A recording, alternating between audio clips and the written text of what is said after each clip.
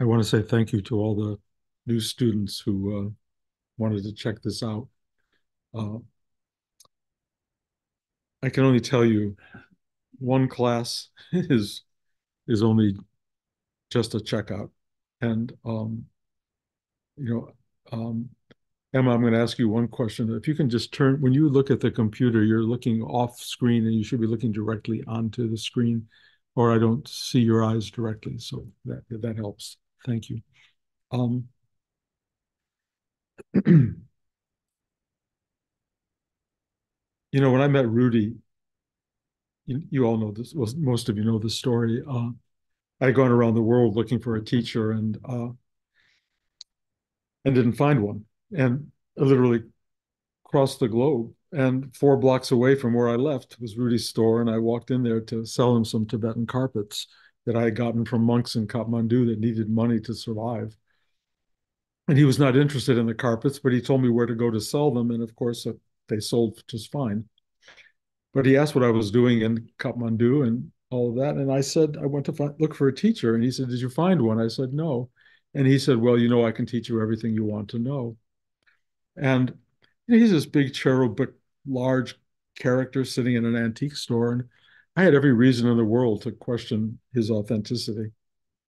But nothing in me questioned it at all, not for a second. I knew, I just knew that I had found the person I was looking for. And when you do find the person you're looking for, you will more than likely know. He took me outside, sat me on the subway grate on a uh, folding chair, and he sat opposite me on Seventh Avenue in the Village in New York. And he proceeded to teach me the uh, exercise that I've given all of you online now. Not quite the same thing as in person, one on one, especially with Rudy. But uh, I just, he did it in three minutes for whatever that's worth. But I just went, it's really strange, very strange. I never had anybody look at me like that. But I, I offered to, um, to, to go to his class, which was a few nights later. The story, as you've all heard it, is that same night, I believe, I met my wife. So that's a whole other part of an amazing day. but I did go to his class, which was taught in a former mortuary, and and uh, he sat where they where they used to display the coffins. I didn't know that, and I'm sitting in a chair. Uh, it's on Hudson Street in New York, right off Greenwich, uh, uh Bleecker Street, actually, and uh, no Christopher Street. And I I'm sitting there, and he sits down. He takes his shirt off. I didn't go, okay, uh, I'm not taking my shirt off, so you don't have to worry about that. But he did took his shirt off and he sat there and he started to look at everyone in the room. And there were probably 30 of us, something like that. And when he looked at me, I my body jerked like this and I fell flat on the floor. I had never had anybody look at me and cause me to fall flat on the floor. That is a measurement that worked. I just knew whatever he's doing speaks to me. I don't know that I cause anybody to fall flat on the floor. And I don't think I have the dynamic of energy that Rudy uh, presented. One of the reasons I think I'm still here teaching is because he presented me with a flow of energy that was unlike anything I've ever experienced in the world. And it's still flowing. And it's gone deeper and deeper and deeper. And part of its extraordinary aspect is it doesn't make you more of a teacher or more of a person. It makes you less of both and more of a vehicle or a vessel for something that just flows. And if you are in touch with that flow, as some of you who are sitting here today have been now taught how to open to that, and it works for you, you're welcome back. If you have tasted this today and you go, eh, not for me, not a big deal, because the right person will show up the right person will appear. I don't care if it's me. I don't care who it is.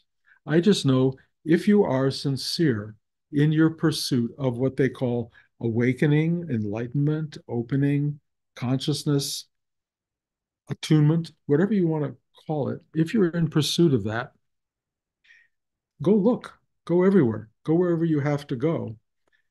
Be careful though, because the judge, the judge of that tends to be your brain and your mind, which has been taught since childhood to be the arbiter of what's right and wrong. And what we're trying to teach in this class is that is not the best arbiter of truth. It is only a perception of a materialized world and it makes sense of that space. But the real perception is somewhere deep within.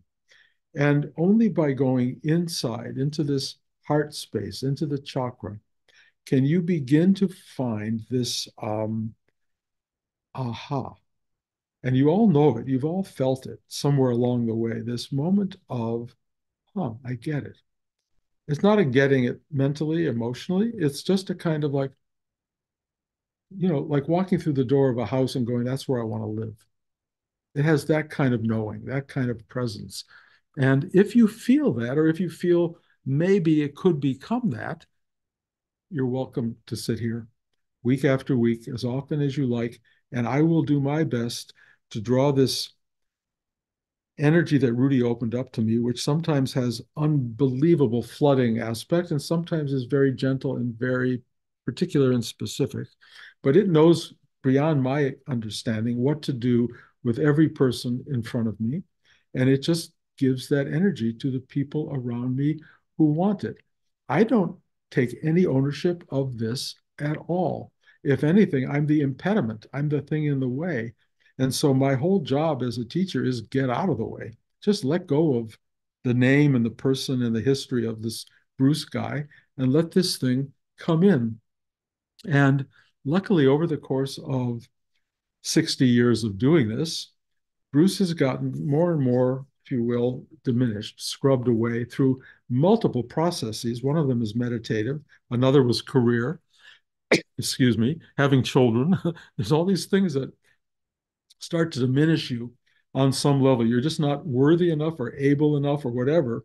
But then this energy comes in and it is perfect in itself. And this energy comes in and it does what it needs to do. And if you're awake and alert at all, you know it's not you. It is not you. All you are is the doorway. You've turned the handle, you've opened the door, and you've said, Come in, or it said, Come into you, and you walked inside to this spacious, exquisite uh, place of being that is there for everyone. There is no one in the, hu- the entire human race who doesn't have this space in them. And some doors open easily, some doors are an unbelievably difficult process. There's this thing called karma. Do I understand karma? I don't, except I see it around me all the time. I see people who have particularly easy paths and people who have really difficult paths. Do I judge it? No. I just know that some people with the most difficult paths have the most opening, and some people with the easiest paths don't even come close. Kind of an interesting observation. But if you're on the journey to awakening, you will discover the difficult parts. You, excuse me, you will discover the um, the parts in yourself that are really uh, needy, wanting, scared, uh, unaddressed, invisible. They will come into play. And when they come into play, if you have a deeply open heart, a gut that can take on anything in the world, and you allow all of this stuff to show itself, you become deeply aware and deeply content with this being that is within you. And it is both you and not you. It is so beyond you. It's really like a blade of grass experiencing itself as part of the lawn. You know, the, this amazing thing. It's so beautiful. It's so expansive. Or the drop of water in the ocean suddenly knowing, oh, ocean.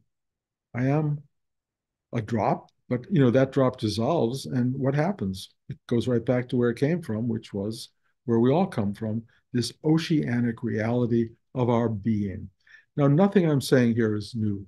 And there are hundreds and hundreds, maybe thousands and maybe hundreds of thousands of teachers saying everything I'm saying to you. And if they speak to you in a way that goes in more deeply or more profoundly or, or touches a, a note or a place in yourself that is so vulnerable and open, go there, go there.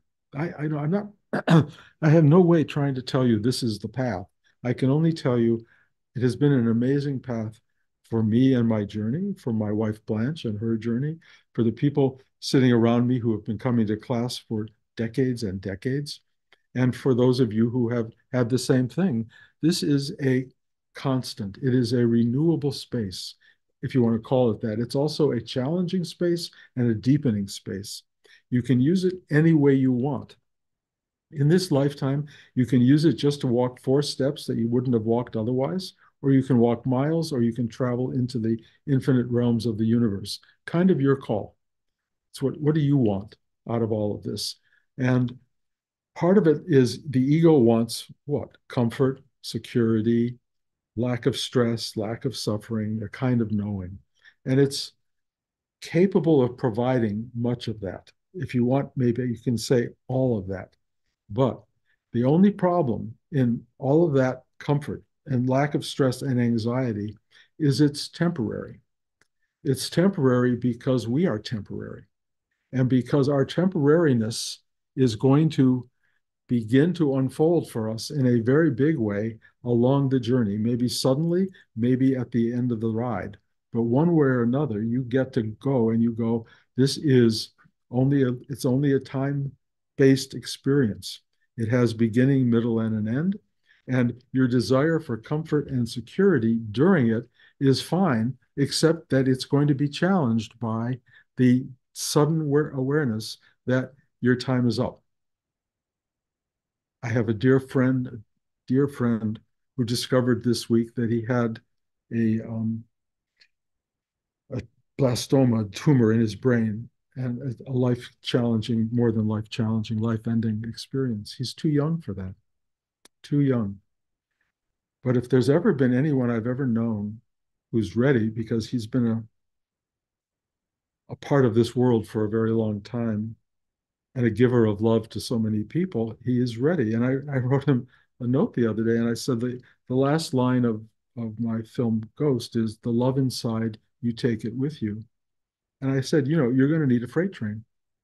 There's so much love inside you that there's no way that you can just put it in your hand and leave this world there's something to arrive at that space in a lifetime of giving and loving and caring that allows you to have that kind of departure, if you will.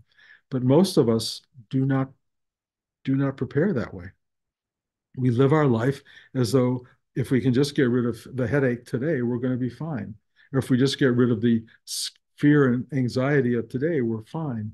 The reality is this is a massive, massive undertaking more than anybody can imagine. And you know, I've the the, the webs the the podcast that I was on that uh, um, Next Level Soul that a pretty large number of people watched and which brought a lot of you people, I think, to this class. Um, there's so many people on that show, and if you listen to them, a fair number of them kind of get it, or or or at least they talk it they, they talk the entire idea of how the world works and all the dimensionalities of life. And when you get to this point, you get this dimension and then that dimension. And I don't know that they're wrong. I have, I don't, I don't, it's not the way my journey has gone.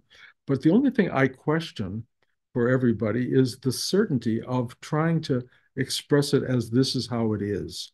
My sense is we don't know. We really don't know, least not cognitively.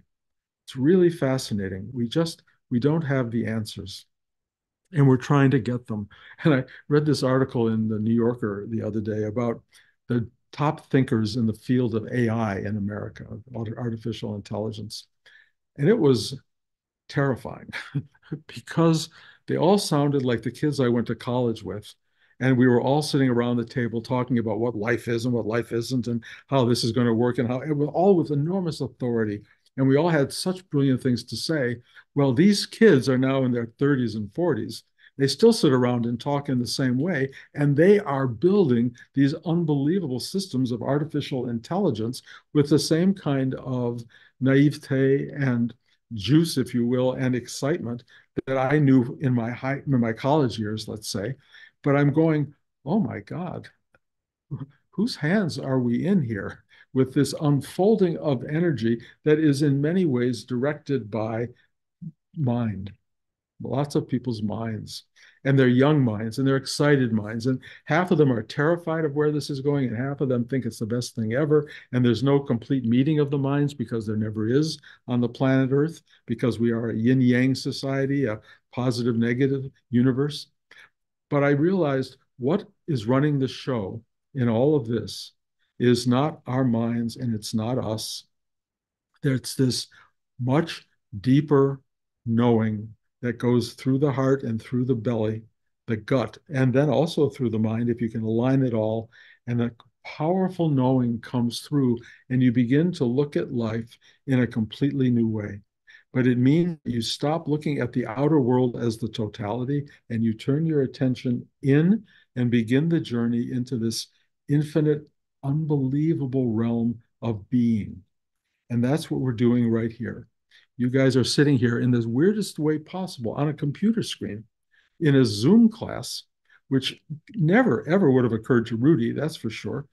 But once COVID happened, that was the only way to dialogue and to have a class with other people.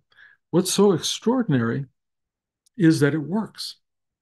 I cannot tell you how, and I cannot tell you why, but I know the energy goes through the screen, through the ether, into the infinite space around us and into your mind body complex, and you get it. And I can see it when it goes in. You know, it's really fascinating because a lot of you don't know when I'm working with you exactly. There's no particular way to know. But so often there's an energy moment that the person I'm working with gets even though they have no idea that they're exactly the one on the screen who's being worked with. It is a kind of mystical, magical reality of energy transformation that occurs in a dialogue between souls that are connected beyond time and space through this infinite awareness that we all share and participate in. We are not even separated in it. We are co-joined. We are one in that space here in the material world, yes, we are all these varying kinds of individualized entities. But the reality is, no, we are a singular manifestation, and it is completely beautiful and gets deeper by the day. I, I've been having this experience with, I will call it altered consciousness, higher consciousness, otherness and I'll, I'll explain it. I, I, I do a walk around my house every morning, and I have a perimeter around my inside of my house that allows me to actually walk two miles in in, in the morning in about an hour, a little less. And it goes by all these things that I love, which are pictures and paintings and pottery that Blanche made and gifts that people have given us, but also plants everywhere.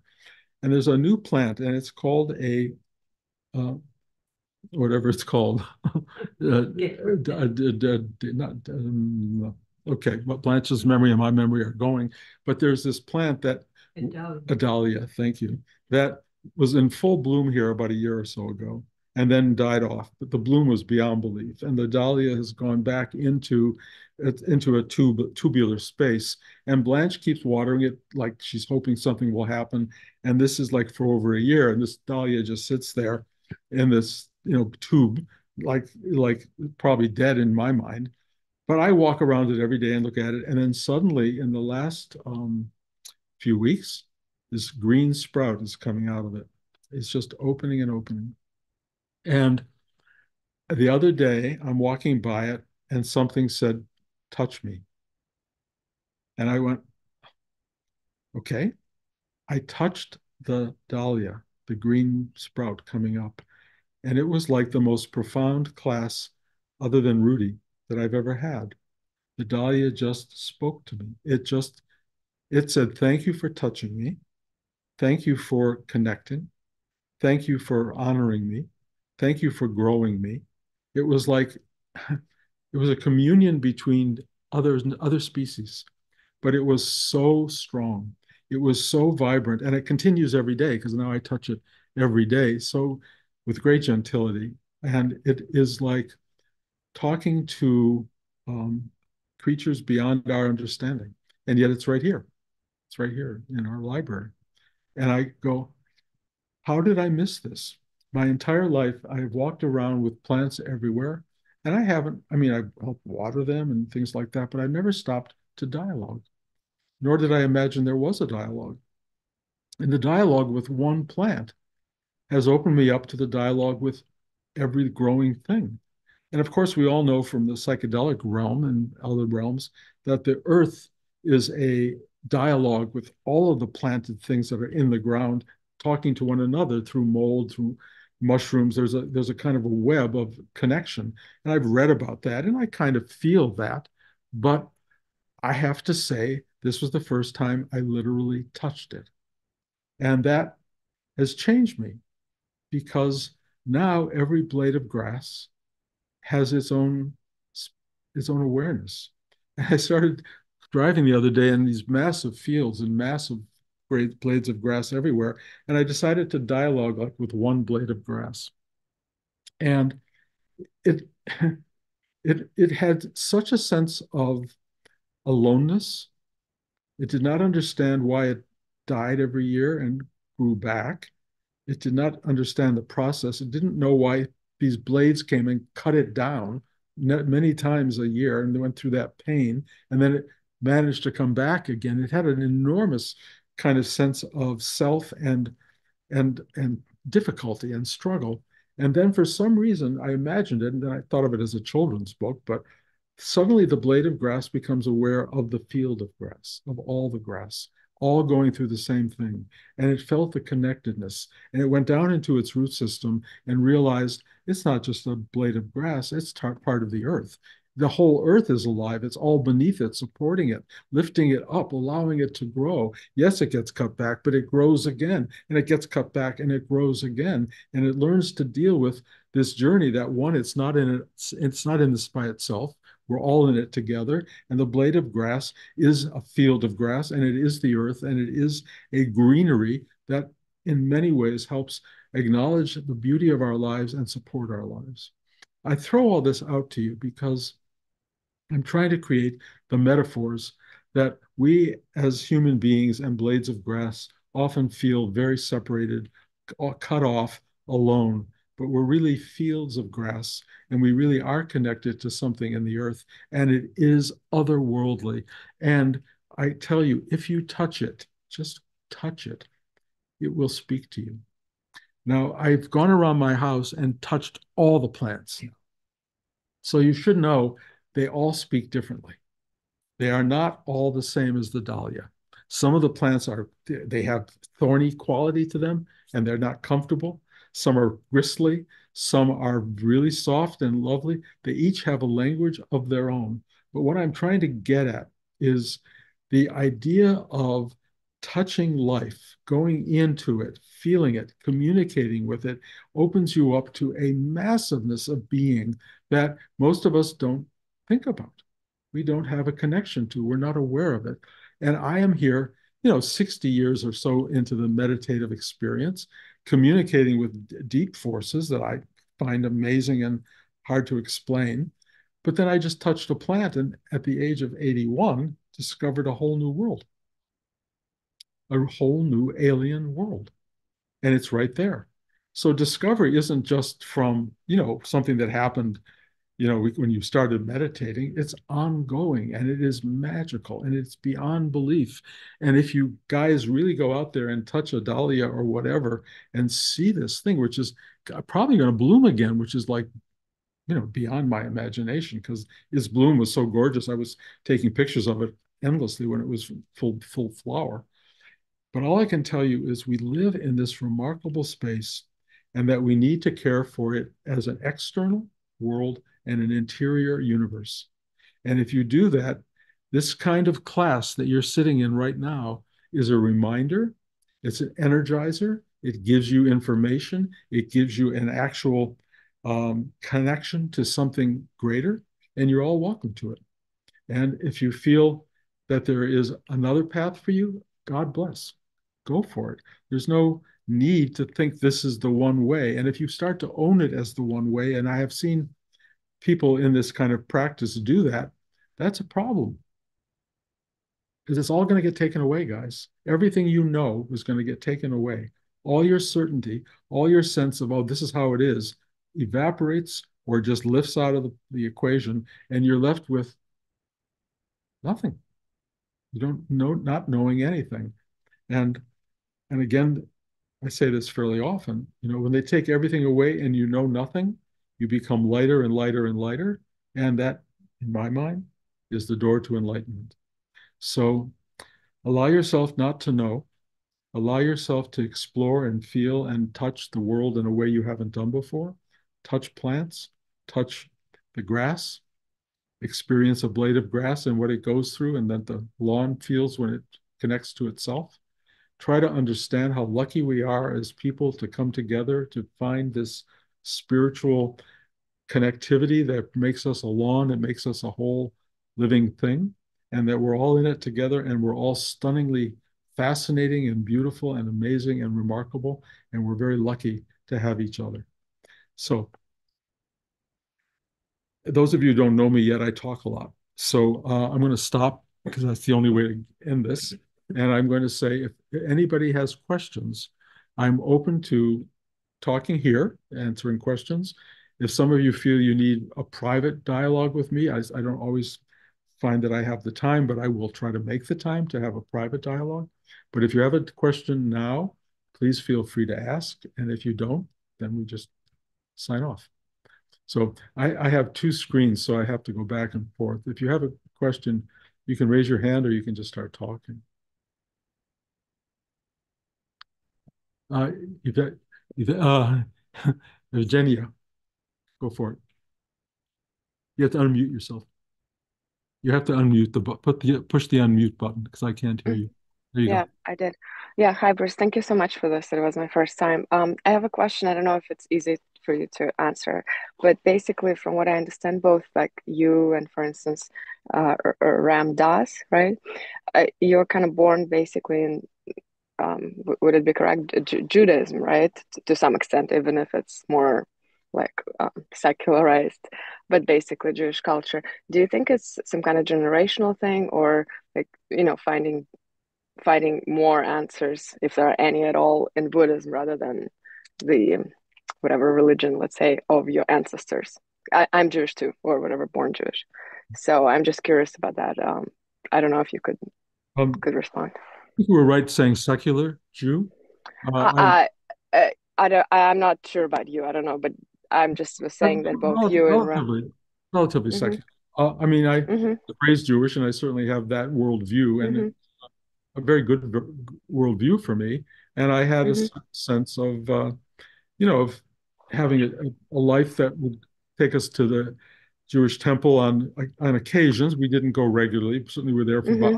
and one of the things I realized when I was there that nobody seemed to really be there, that everybody was looking at what people were wearing and they weren't really mm. much else.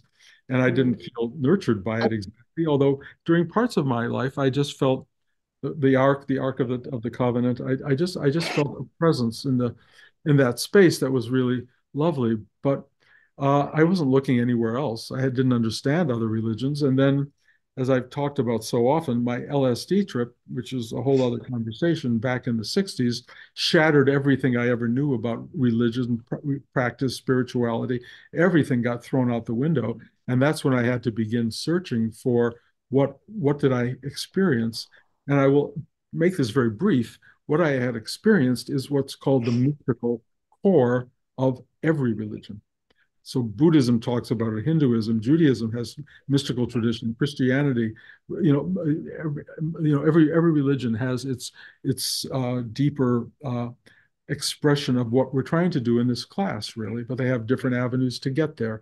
Uh, so I don't think that I particularly used my Judaism to get there, but it is a foundational part of my being, and I'm comfortable in it. Although, of course, I'm also especially nowadays, very challenged by how we're how Jewish people are perceived, and and I have a genetic sort of terror of how we have been perceived and and and how we've been treated over the course of centuries. So that's a built-in thing that I don't enjoy, but I have to deal with that. Other people don't have to deal with that. But you know, I know you're from Russia, and I know you've dealt with a lot of different a lot of different uh, things, and uh, so all I can tell you is your religion is a source of value if you want to dig deep into it. If you want to look into the mystical side of it, you'll find it very valuable. If you get caught up in just the ritual of religion, you're just still caught in the outside world, and that world probably will fail you at some point unless it has somehow penetrated into the deeper core of your being, and then you will be served. Mm-hmm. Okay. Got it. Thank you. Anybody else? Can't see you all, but um, now I'm seeing you. Okay. Uh, okay. Uh, I'm going to just say thank you for coming. All the new people who came today, you know, um, God bless. You're welcome. You're welcome back. And uh, if I don't see you again, I wish you a great journey in this in this strange and extraordinary life that we're all that we're all we're all on. And uh, I just, I really just, uh, I truly love sitting with you. And I, not, none of you is leaving here today without a gift. Every one of you got something from this experience. So whether you are conscious of it or not, you can unwrap it over time and it will serve you. Thank you. Uh, now that we have more people in the class, I'm going to say, and I think I've said it before, we're not going to have to, I'll guess I'll still send out invitations to East Coast, West Coast for a while. But truly, um, uh, if you want to come to the class, just come. We'll make there will be we'll we'll work it out. Okay, we'll make room for everybody. Uh, and one last thing, because I've now recorded the introductory class for this practice, and it's online, uh, I can't just hand it out. But if you are interested, I'm talking to students who have been in the practice as well for a long time. If you want a refresher, just write me and I'll send you the link to it so you can watch the uh, class again. It's available to anybody who needs it. Thank you all. And thank you for helping me set all this up. That's, that's I'm really grateful for that. And uh, love you all and uh, be back next week.